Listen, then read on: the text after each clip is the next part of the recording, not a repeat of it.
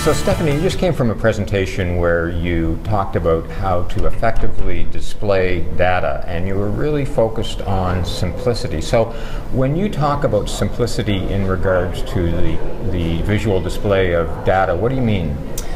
Good question. So, usually it means taking out what some people would refer to as the chart junk like unnecessary grid lines or tick marks or maybe maybe we can take out some of the labels maybe we don't need every single label on our axes um, any of those things that can, maybe even taking out some of the color so that we end up with sort of a fresher canvas that we can then use to go back in and add some emphasis so that our, our key message comes across. Right. And we're seeing that, I think there's, there seems to be a strong influence um, positively and negatively from what's happening in tablet design and, and smartphone design.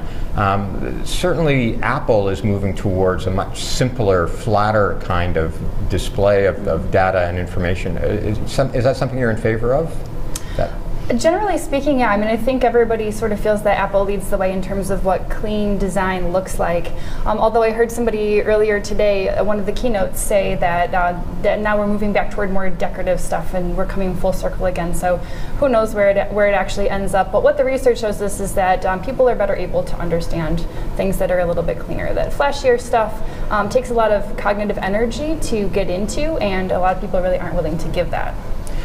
But on the other hand, the, the, that technology and things like PowerPoint and Keynote allow for uh, a lot of animation, a lot of uh, drop shadows and stuff like that. So it's almost like a box of chocolates. Like it's too tempting not to reach inside and go sure. for the cream filling, right? Yeah, of course, of course. It is kind of tempting. And there are times and places where that sort of thing is acceptable. I'm not going to say to never use a drop shadow. Sometimes it really makes sense.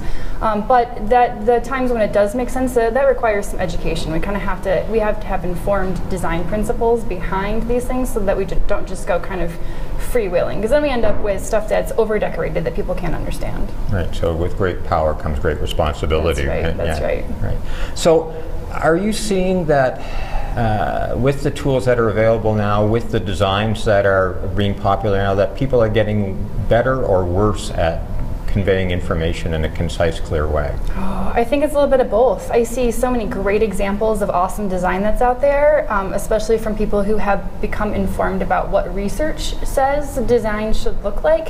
Um, I see people who don't exactly have access to that research who end up making things like 3D exploding pie charts. Right. So I think it's kind of proliferating in general. Um, hopefully, we can lean it more toward the good. And what would you say if you had to say three things to somebody that was saying, you know what, I, I really want to get better at this? What would, what would you do? What would you say? I would say first keep in mind simplification and then emphasis. That if you follow those rules and you think, what can I simplify, what can I simplify, you're going to get to a really good spot and then think again about what you can bring back that would emphasize. Maybe you put an action color on one thing. Um, I would also say to keep in touch with what's happening out there in the world, like on Twitter or on blogs. There are so many awesome design and data visualization blogs these days that show you exactly how it should be done. So really, really clear, crisp examples. Um, yeah.